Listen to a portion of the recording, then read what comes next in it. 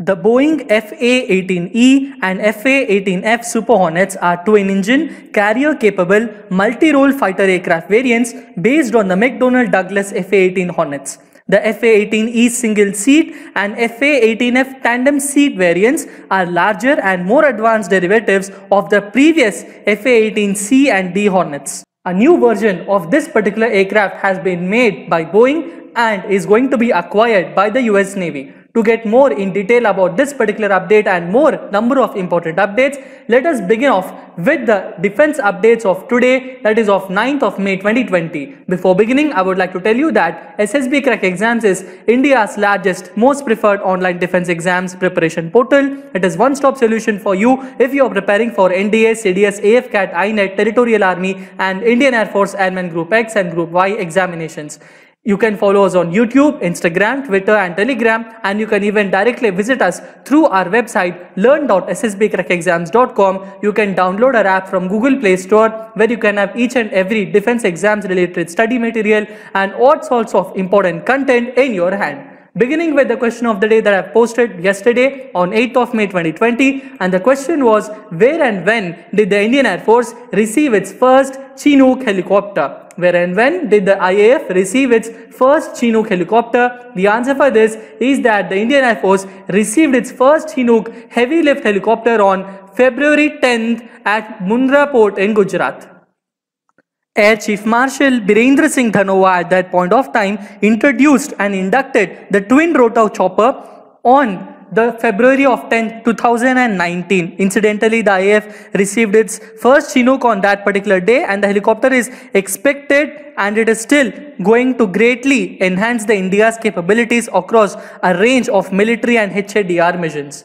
Now beginning with the first and foremost important defense update and that is that the DRDO installs UV disinfection chamber at Cochin International Airport at Kerala. This chamber would be used to disinfect the baggage only the baggages coming at the airport and it has been developed by a laboratory in Kochi. Kochi's international airport at the at that place this disinfection chamber is very important for us and DRDO's initiatives towards the fight of COVID-19 is relentless and highly appreciable. Next important update is that Raksha Mantri, our Defense Minister, Shri Rajnath Singh has interacted with the Japanese Defense Minister, Mr. Taro Kono on the COVID-19 issues. Both ministers have also conveyed their commitment to take forward the initiatives of bilateral security cooperation under the framework of India-Japan Special Strategic and Global Partnership. Next important update is that Raksha Mantri Rajnath Singh chairs the 165th Executive Council meeting of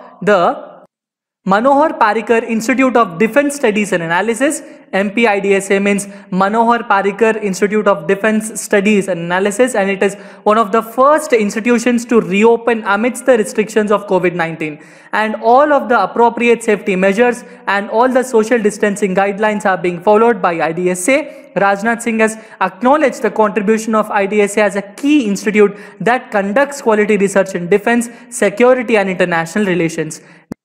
The next important update is that the Defense Ministry has today signed a contract worth for around 12,000 crores for modernization of airfield infrastructures of 37 airfields of Indian Air Force, Indian Navy, Indian Coast Guards with the Tata Power SED. And this is a very prestigious project. The project is a turnkey that includes the installation and commissioning of modern airfield equipment like category 2 instrumental landing systems, airfield and lightning systems and the modern equipment around the airfield will also be directly connected to air traffic controls thereby providing excellent control of airfield systems to the air traffic controllers. The upgradation of navigational aids infrastructure under this project would enhance the operational capability by facilitating air operations of military and civil aircrafts even in poor visibility adverse weather conditions while enhancing the aerospace safeties. This particular project is under two phases. Phase 2 is a follow-on program based on the MAFI phase 1 that included the operation of 30 airfields of Air Force. Previously, already the 30 airfields of Air Force have already been revived. This is the second phase of it and here 37 airfields are being considered and this is a very important and a very overwhelming and happy project for us to consider. Next important update is that the Western Command Chief, the General Officer Commanding in Chief of the Indian Army Western Command, Lieutenant General R.P. Singh, has reviewed the operational preparedness along the western borders. These regions include Amritsar, Tibri, Dera Baba Nanak sectors, the Kasowal enclave in Indo-Pak border, commend, uh, and he even commended the Border Roads Organization, all the western borders, and he exhorted all ranks to keep working with same zeal and enthusiasm. He even uh, talked with the personnel there, he interacted with the villagers and even the farmers of those areas and he talked about the onset of monsoons and how to go through those areas too. He reviewed the hospitals present there too. Next important update is that the Army and Air Force rescue a helicopter crew stuck in an inclement weather in Sikkim. The Mi-17 helicopter, it is a medium lift transport helicopter of Indian Air Force. It uh, made an emergency landing near the Mukutang in Sikkim and it is around an altitude of 15,500 feet on Thursday, that means yesterday, due to some sort of wrong inclement weathers. There were around four aircrew present there, which included of around Indian Air Force and two Indian Army personnel are also present on board at the chopper. All of them had made the uh, emergency landing and they are all safe and all of them have been taken up by the Army and Air Force rescue helicopters. Next important update is that the Russian military specialists, they returned home from Italy. Between March 22nd and 25 of this year, 15 Russian planes delivered almost 100 Russian virologists and epidemiologists, 8 medical brigades as well as diagnostics and disinfection equipment to Italy. Okay, Russian specialists worked in one of the most affected areas of Italy, the city of Bergamo and its surroundings. All of them have did an overwhelming and extremely appreciable job and they are now shifted towards their home country back to Russia. Next important update is that the first V-22 Osprey aircraft arrived in Japan. Two days before we had discussed about this and yesterday also we had the question of the day on what is actually an Osprey and is it an aircraft or is it a helicopter? It is a combination of both we have discussed. This aircraft has been signed by the Japan and now it arrives in Japan bound for the Japan's ground self-defense code J, uh, JGSDF units. This helicopter arrived in Japan at US Marine Corps Air Station Iwakuni. Japan ordered the first five Ospreys aircraft for the Japan Ground Self-Defense Force in July 2015 for $332 million. Next important update is that the Japanese army acquires newest self-propelled howitzers Howitzers are those that are used to propel ammunition and these are self-propelled howitzers. This is a very important update. The new 155mm 52 caliber wheeled self-propelled howitzers which is manufactured by Japan Steelworks features an automatic gun laying system, semi-automatic ammunition loading system and all. Next important update is that Polish army, army of the Poland to receive the Rosomak S armored vehicles also known as the armored protection control vehicles APCs are designed to carry anti-armor squads. Polish Minister of National Defense uh, has said that last week that the Polish army is a step closer to acquiring its first batch of these kind of vehicles.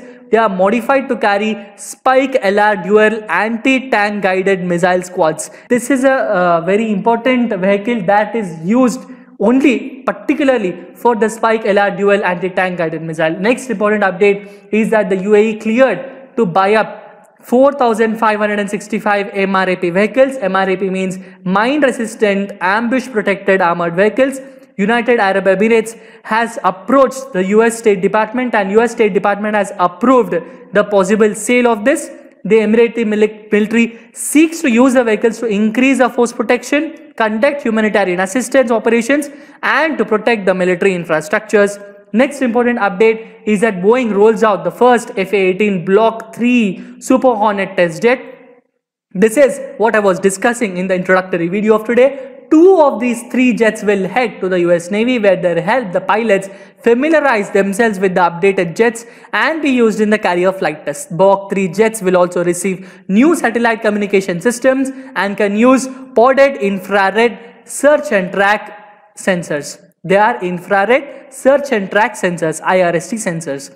What uh, is the speciality of this Block 3 Super Hornet, sir, this is a very important update that it includes a very signature improvements in the lower radar cross section. It has an advanced cockpit system which increases the situational awareness in the aircraft. It has an open architecture, multi-level sensor uh, secure processor. It has a high through output, low latency data links. It is long range and it is counter stealth guided it has satellite communication which is advanced network connectivity. It has 9000 plus hour airframe and it can conformal fuel tanks of compatible range are also being enclosed in this. And this is a very important update because all of the Super Hornets are highly equipped aircrafts and this is very new update for us to consider. Now we will have a very quick review of the topics that we've discussed. What is the full form of IRST? The full form of IRST is internal infrared infrared search and track. IRST means infrared search and track. Next important question is what is the full form of MRAP the full form of MRAP is mine resistant ambush protection. Next important question is the general officer commanding in chief of Indian Army's western command is Lieutenant General RP Singh Next important question is that recently our defense minister interacted with which country's counterpart to discuss about the COVID-19? Which country's defense minister has been approached? The answer for this is the Japan. Next question is the unit flyaway cost of FA-18EF Super Hornet is one particular aircraft, one particular FA-18EF Super Hornet costs around 70.5 million US dollars. Now we will have the question of the day and the question of the day is in April 2011, which aircraft won the MMRCA competition, which means the medium multi-role combat aircraft medium multi-role combat aircraft competition of indian air force eliminating the fa-18 super hornet from the list. This is a kind of aircraft where 129 aircrafts have to be acquired by the indian air force and many number of aircrafts air companies have come in front of iaf to make their deals and the FA-18 Super Hornet was deleted. It was not uh, taken into this particular consideration and some other aircraft was taken for the MMRCA deal. And what is that aircraft? What is the speciality of that particular aircraft? I will be discussing with you regarding what is that particular aircraft and what is its speciality in the next session. Until then, stay tuned to SSB Crack Exams. I hope that you follow our SSB Crack Exams channel and even download our app from Google Play Store so that you can have all sort of important study material in your hand. Stay home, stay safe and Jai Hind.